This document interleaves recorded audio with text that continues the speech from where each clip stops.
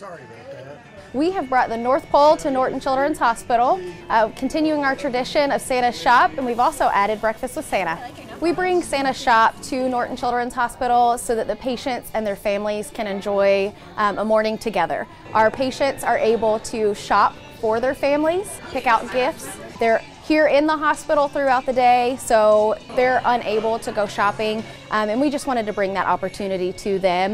Um, and then as soon as they're finished shopping, they're able to go in and enjoy breakfast with Santa um, and just have a fun morning with their family.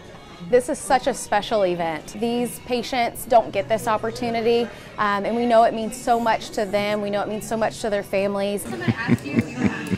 And as staff, we truly love being able to be a part of this. We have over 2,000 gifts that were donated by the community, which is incredible.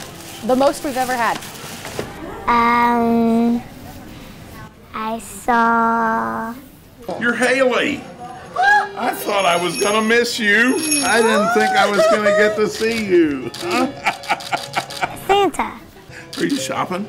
You getting everything done? Yeah. Good. Did you send me your list? Not yet. Not yet. Do you know that we start loading up in nine days? So you're really running out of time.